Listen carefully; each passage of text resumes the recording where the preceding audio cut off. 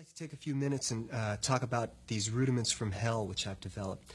The rudiments from hell are basically um, standard rudiments which I've altered to make more difficult, and sometimes they're purposefully so difficult that you can hardly play them. And I found that that's really helped my control and uh, my technique.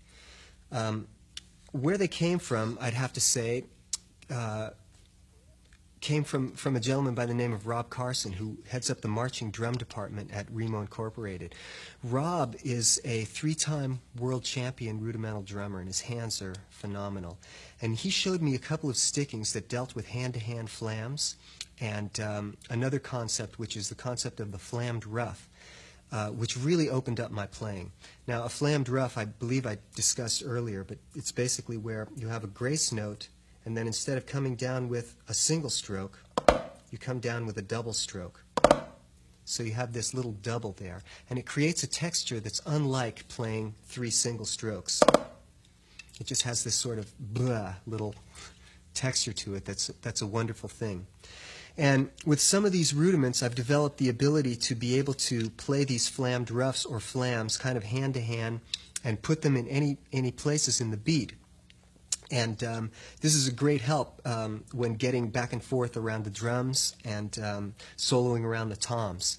So, um, having said that, and having said that you'll have these, uh, a lot of these variations written out in the little exercise book, I'm just going to demonstrate a few of them for you now. This one here is um, had its roots in a single flammed mill, and I've added a a flammed ruff where the flam was to make it more difficult. And this deals with a situation where I'm coming off of one of these flammed ruffs, which has a double stroke, and I have to immediately play another right. So uh, I have to recover from the double and play another single immediately. And that's what's so difficult about it and uh, what's so challenging. So when I do these, they sound very discombobulated and, and um, kind of like. Uh, you know, like a, a, broken gallop or something. They're not very precise, but um, uh, they're, they're interesting technique builders.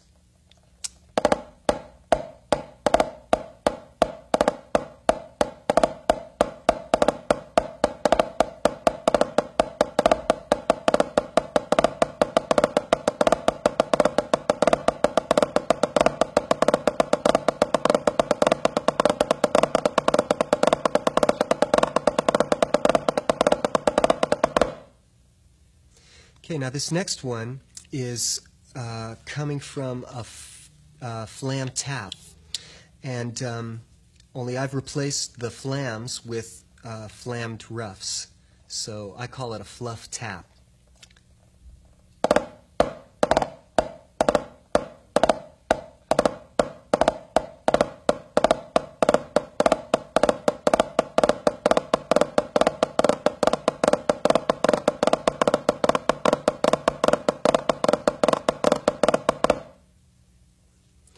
All right, now this next one is uh, a variation of a rudiment called the patafla-fla.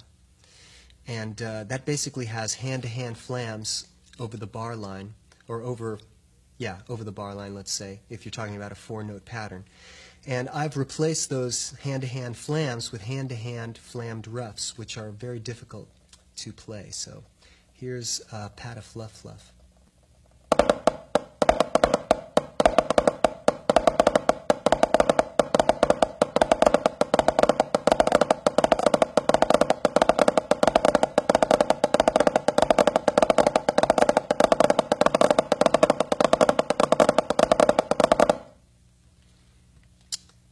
And finally, we have um, kind of a variation on uh, paradiddle diddle. And I've got some extra flams and flammed ruffs in it, so it's kind of complicated.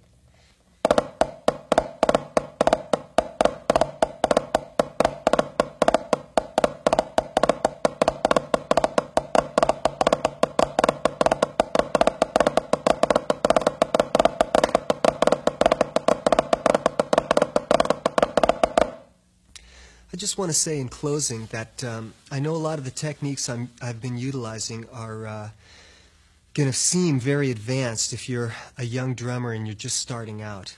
Um, I don't want you to be overwhelmed by the material that I'm presenting here. It's, it's more to just uh, be inspirational, and you have to keep in mind that it took me a long time to get to the point where I could do some of these things, and I'm still working.